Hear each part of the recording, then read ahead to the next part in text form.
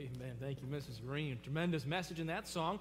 I hope, I hope that you're not ashamed to say the name and share the name of Jesus after all he's done for us. John chapter 17, if you have your Bibles, please, this morning.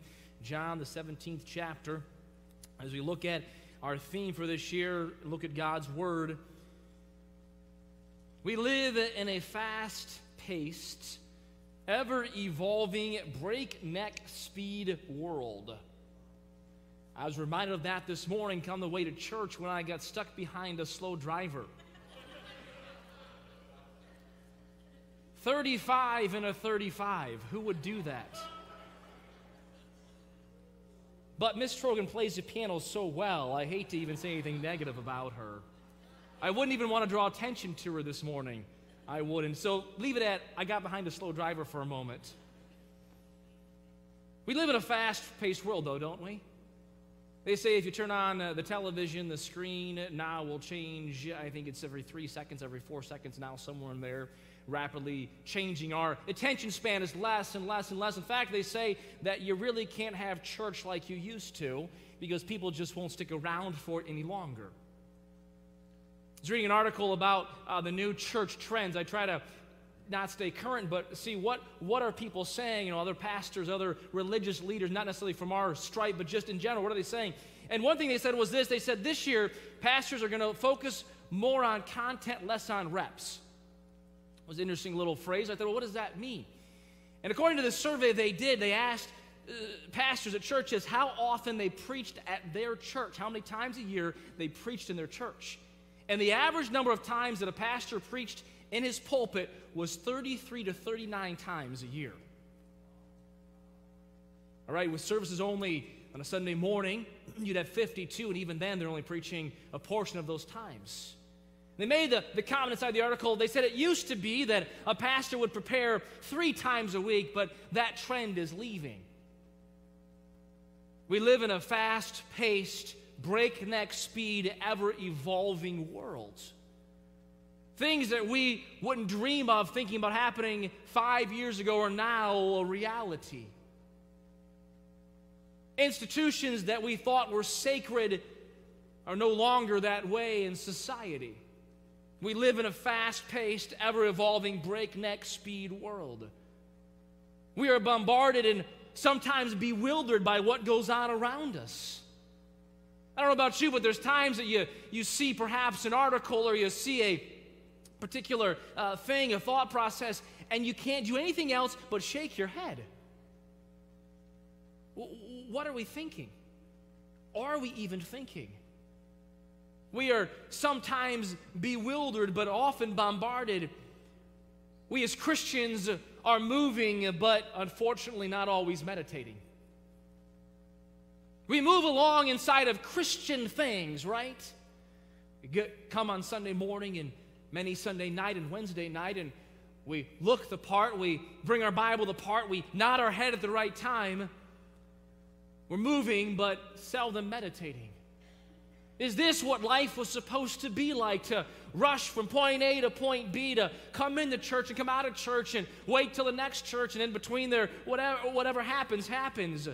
I would challenge us this year to refocus our thoughts, to realign our minds, our passions, and our souls on one thing, and that is only God. John chapter 17, verse 3, Jesus says these words, and this is life eternal. This is life eternal. The reality, the fact is that life eternal is true life.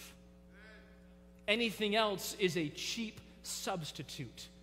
And Jesus says, And this is life eternal, that they might know thee, the only true God, and Jesus Christ, whom thou hast sent. It was this summer when I was in my devotion time with the Lord and came across this particular passage.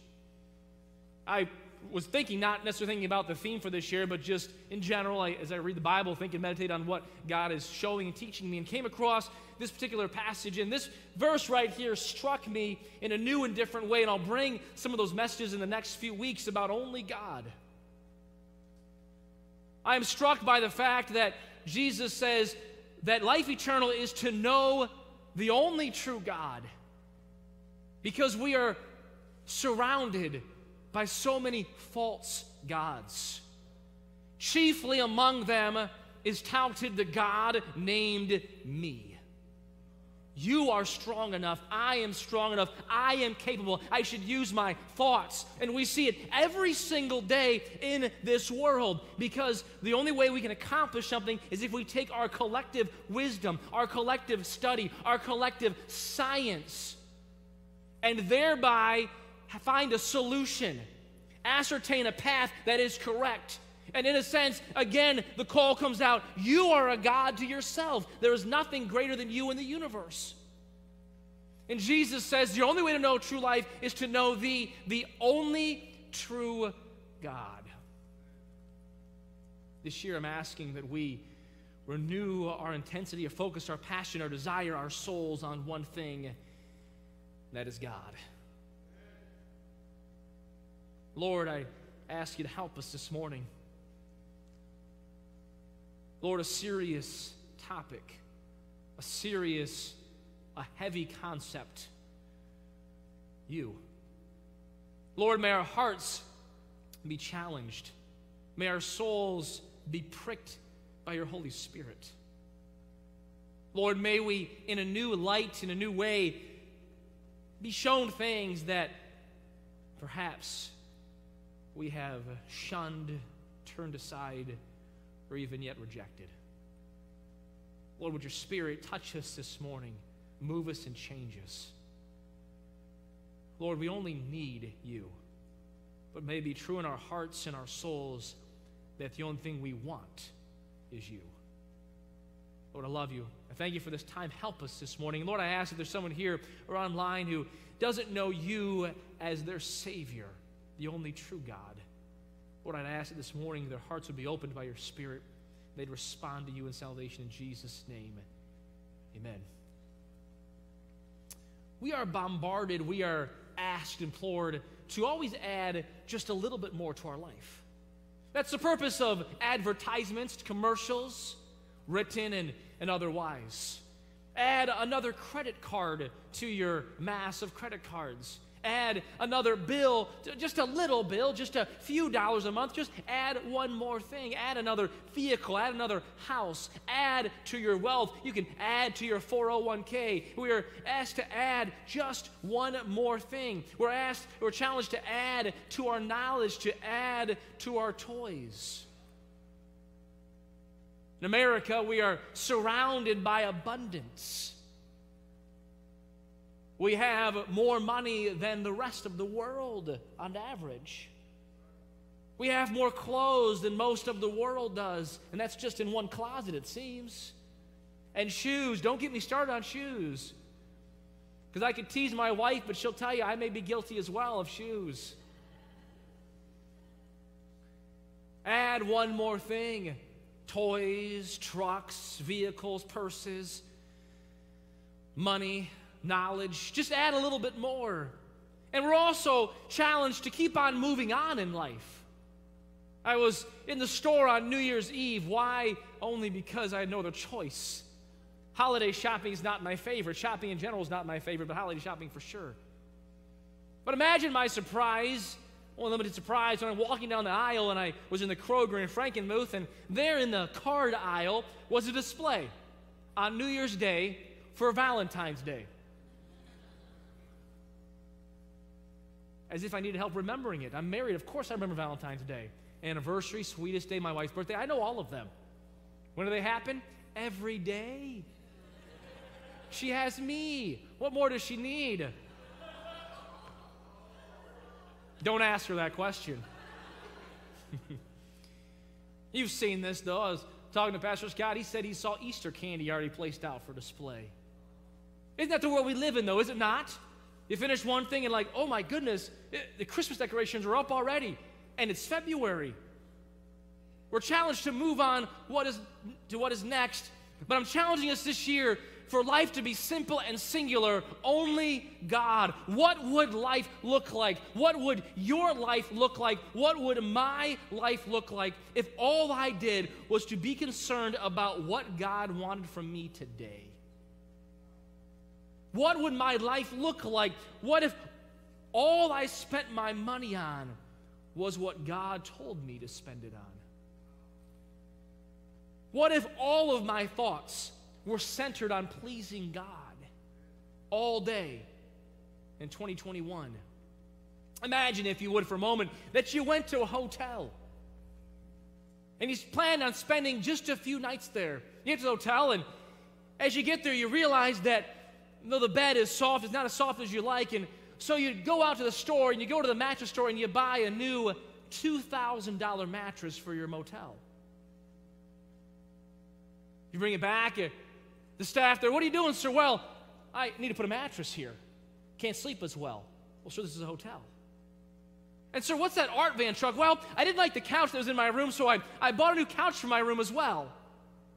And I didn't like the art on the wall. The art, it was so, it was so old-fashioned. I bought some new art, and I didn't like the plants, so I bought some new plants. And to be honest, the, the carpet guy's coming in an hour. He's going to recarpet my room in the hotel. You'd be looked upon and scoffed and mocked and probably stopped from going inside the hotel any further. But is that not what we're guilty of at times? In this old world, we're just passing through. This old house is just a temporary dwelling, is it not? Yet it seems like we spend all our time, all our efforts, all our money on the temporary rather than only God. End of the Civil War. The Confederate money was worthless effectively. Imagine that you knew that end was coming and you had a million dollars of Confederate currency. What would you do? Money's now worthless. But imagine you leave this life with a US dollar, and imagine you have a billion of them. My friend, it's worthless. Only one life, it'll soon be past. Only what is done for Christ will last. In 2021, I will worship only God. I will seek only God. I will live for only God. I'm asking us this year to commit again, to refocus on only God, and this is life eternal. To shed some of the burdens that have weighed us down, some of the mindsets that have hindered us, some of the responsibilities that we have added onto our lives, which have been an obstruction to us to worshiping the only and serving the only true God. You see, you find these verses throughout Scripture. Jesus in Luke chapter 2 says this to Satan Get me behind me, Satan, for it is written, Thou shalt worship the Lord thy God, and him only shalt thou serve. In Psalm chapter 62, verse 5, the psalmist writes, My soul, wait thou only upon God, for my expectation, my hope is from him. In Isaiah chapter 37, the scripture says, Now therefore, O Lord our God, save us from his hand, that all the kingdoms of the earth may know that thou art the Lord, even thou only. Jesus in Mark chapter 2 says, Who can forgive sins but God only? You see, I desire a renewed commitment and focus on making God singular in our lives. 2020 was not a make it or break it year for Christians. 2020 was not a make it or break it year for Christians. In fact, as you read your Bible, when turmoil and calamity and trials come, it is not make it or break it for Christians. Those things are merely revealers of what's right here. 2020 did not make any Christians better or stronger or weaker. 2020 merely revealed the true faith or lack of true faith that was right here in our hearts. You see, outside circumstances cannot dictate inward reflection and inward worship. They merely reveal what is right here. 2020 was not make it or break it, it was a revealer. Our God must be singular. This morning, I want to give you this first thought. He must be singular in position in your life. Now, I don't know about you, but in the Bible, I've read it through now a few times. I don't know everything in the Bible. I think you could study your whole life and not know everything. There are hidden mysteries there. I've tried to be a student of the Word of God, and I hope that never changes in my life. But there's this little phrase that I've said before, and I'll say it this morning. My problem, and I dare say your problem, is not usually a knowing problem or a knowledge problem. It's usually a doing problem. It's not that I don't know what I'm supposed to do. It's not that I don't know what God's truth is. It's that sometimes I get off track. How about you? Sometimes I make a choice that's not proper, and the Word of God brings me back to the position I'm supposed to be in. And this morning, I want to challenge us again to make sure that if we claim only God, that He is the only one in the top position in my life that He's on top, that He's in control, that He's in charge, not that we say He's in control. That's what we're supposed to say. Uh, who do you follow? Of course, I follow God, right? Of course. I'm, I'm seeking His face for all my decisions. Well, did you ask Him about this? Oops. Did you look for Him over here? Well, it was uh, singular in position. We claim that he is supposed to be the top person, that he is have the preeminence, but is he? I'll give you three reasons this morning from the scriptures why he ought to be singular in position. That's what Jesus says, they might know thee, the only true God. He's supposed to be singular in position, first of all, because he is the maker. Would you turn here to Genesis chapter 1 in verse 1? Familiar verse, but I want you to look at it with me. As we open up our Bible, you have to go no further than the first four words to be introduced to God. No further than the first page, and you're introduced to the maker of the universe. And all that we see, all that we are in awe of as we go and travel and see the natural wonders of the world. The Bible says in Genesis 1 1, would you look there with me? In the beginning, God created the heaven and the earth. Would you read that with me, please? Read that with me, please. In the beginning, God created the heaven and the earth. You see, God enters, enters from the Bible as the supreme author of life. From the very first words that are mentioned in our scripture, he is introduced as the one who is in charge because he made everything. He has to be singular position because he made it all. He is the maker. And you say, well, Pastor, of course, I learned that in Sunday school when I was small. There are only two reactions that one can have when being introduced and challenged with this fact. It is either to recognize it or reject it. Either God made it or he didn't make it. There are no third options. Either God is in charge as a supreme author, as the one who began everything. And the Bible is filled with these phrases author and finisher, Alpha and Omega. All right, beginning and ending. And either we can recognize it or we can reject it. We can recognize that God spoke it, that God made it, that God knows best. I began to read my Bible through again this year, and I've been underlining in Genesis, the book of Genesis, all the times that the Bible says this, and God said, and God said. Maybe if you get a moment one time, not right now, you go through there and find him in Genesis 1, Genesis 2, Genesis 3, Genesis 4, Genesis 5, repeatedly. And God said, and God said to him, and God said to Abraham, and God said to Noah, and God said to Jacob, and God said to Isaac. And God said to Adam, and God said to Eve, and God said to himself, Let us make man in our image. God was speaking all over the place. God is always speaking. I followed up with the responses to what God said.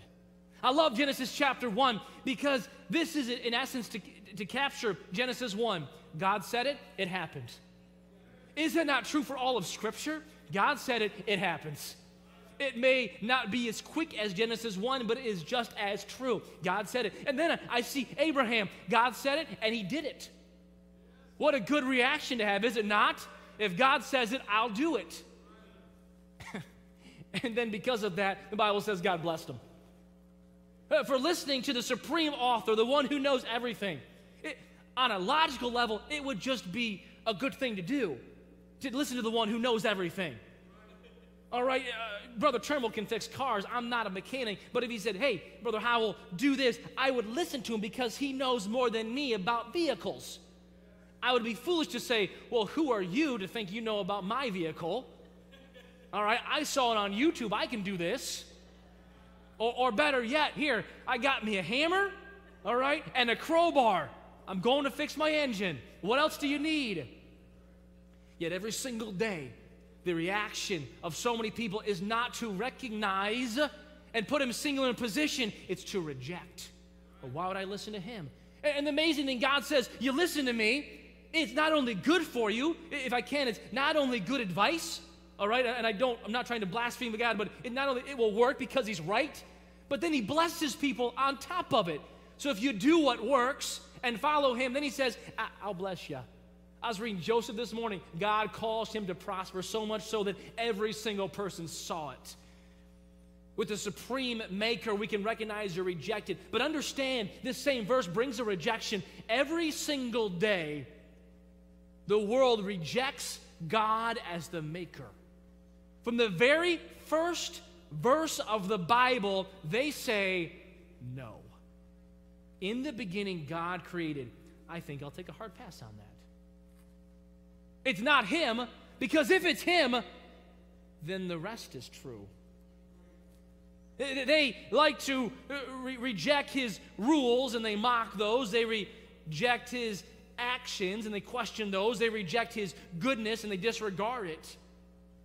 And they begin to set themselves up as their own supreme ruler in their life. But, my friend, uh, Christian, we, if we're not careful, can do the same thing but I'm going to church and I'll keep God in that little compartment right there. And I'll use Him when I need Him. But He won't be the supreme being and supreme position in my life. And while we would not, we would not think to reject Him as Creator, we reject Him as a singular God in our life. I read a story about some parents who watched their, their young son playing baseball by himself in the backyard. The story goes they were watching him play baseball, and the young man tossed the ball to himself in a big swing and a miss, and he yelled to himself, Strike one. Because he was umpire, gave himself a strike. But not to be deterred, he yelled, But I'm the greatest hitter in the world. And he tossed the ball up in the air, another big swing, another big miss. Strike two. And watched their young son Again, they called to himself, but I'm still the greatest hitter in the world. Tossed the ball up, and with a mammoth, life altering swing, it seemed, swung, and another miss. Strike three, I'm out. These parents wondered what their response of their child would be as the world's greatest hitter was just struck out. But not to be deterred, the young man said this well, look at that. I must be the world's greatest pitcher for striking out the world's greatest hitter. Is that not what we do? That wasn't a miss. I'm still amazing. I can still recover from this. Only God, Revelation chapter 4, verse 11 says this Thou art worthy, O Lord, to receive glory and honor and power, for thou hast created all things, and for thy pleasure they are and were created. There's a response that we're supposed to have to, to, to knowing that God is the maker. The two, uh, two facet response submission and to glorify.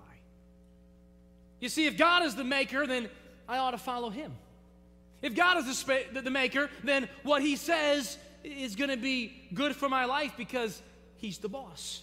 If God is the maker and the supreme uh, ruler in my life, then I will submit to what He says I'm supposed to do. And my friend, this morning, as you begin 2021 in church on a Sunday, January the 3rd, can you say before the Lord, He is my only God, and also that I submit to Him in my life?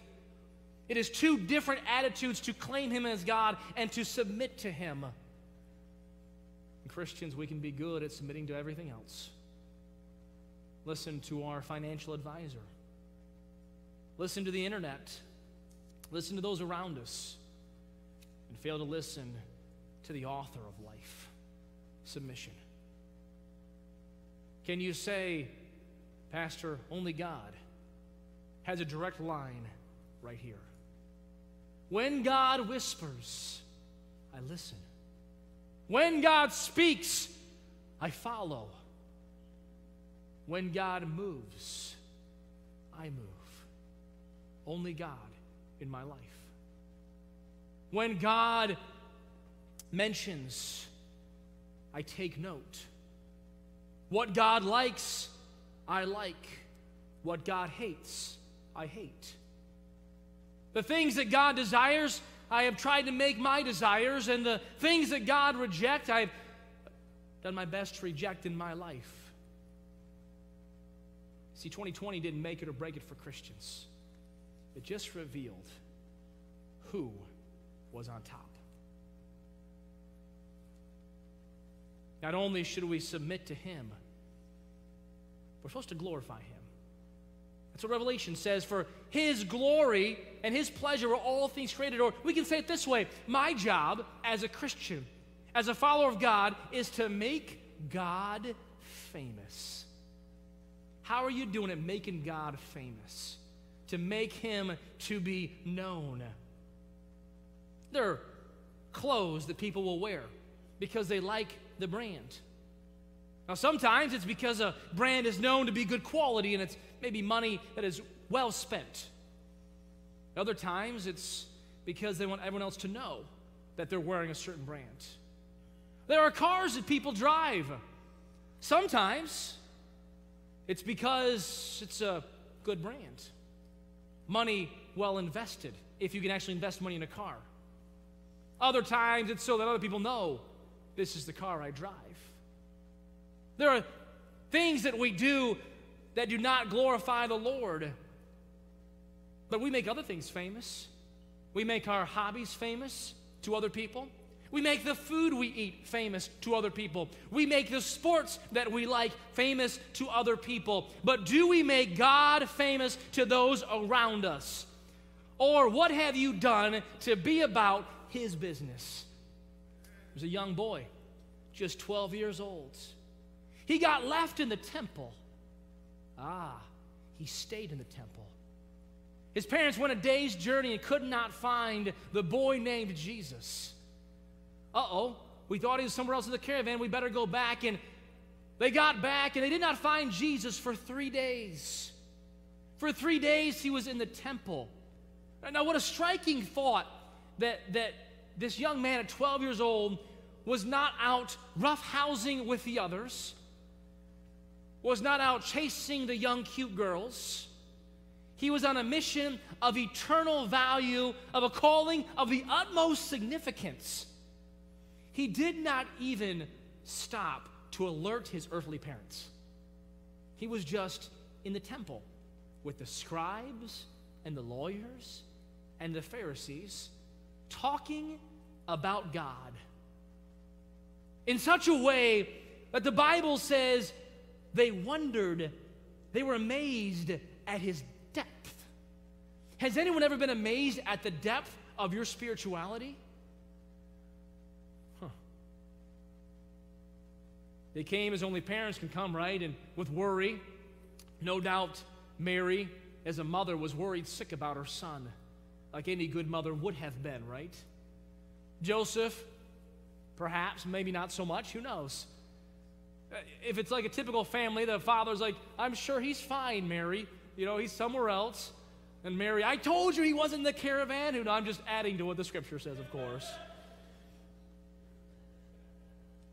When they confronted him, Jesus said to them, How is it that ye sought me?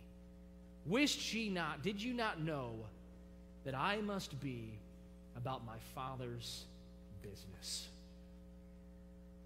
My friend, what a great phrase for 2021 for Christians. You sought me at work. I was there, but didn't you know? I was about my Father's business. Uh, did, did you see? I was, I was not doing my own things. It was not my own plans. I wasn't just hanging out with the other boys that I found. I was about my Father's business. I wonder this year, are you and I seeking to make God famous? He's only God, He's a supreme maker. And our reaction, our response ought to be to glorify and submit in glorification to make Him famous. Am I seeking to make Him famous, or am I just making myself famous? Am I about his business or am I just about my business and my problems and my responsibilities? Do people just know me or do they know him? About my father's business. Well, my friend, have you ever been distracted from your responsibilities here because of opportunities there? Jesus as a son, as a brother, was distanced and distracted from those responsibilities because of a greater calling in his life. 2021, I'm asking us to focus only God. A renewed focus. I'm not asking you if you're perfect or not. I'm just asking, is he on top? And I'm not asking for a phrase. I'm asking for a response. A phrase says, Well, of course, Pastor. I'll post it on my Facebook feed, and, and I hope you do. But does your life show? Does your heart show? Does your soul breathe only God? Or have you become distracted, distanced, bewildered, moved by all the trinkets? By all the trinkets. You see, when God's not your focus, when God's not all there is, everything else has a lot of sparkle to it. Fireworks would be really amazing if I'd never seen lightning. Only God.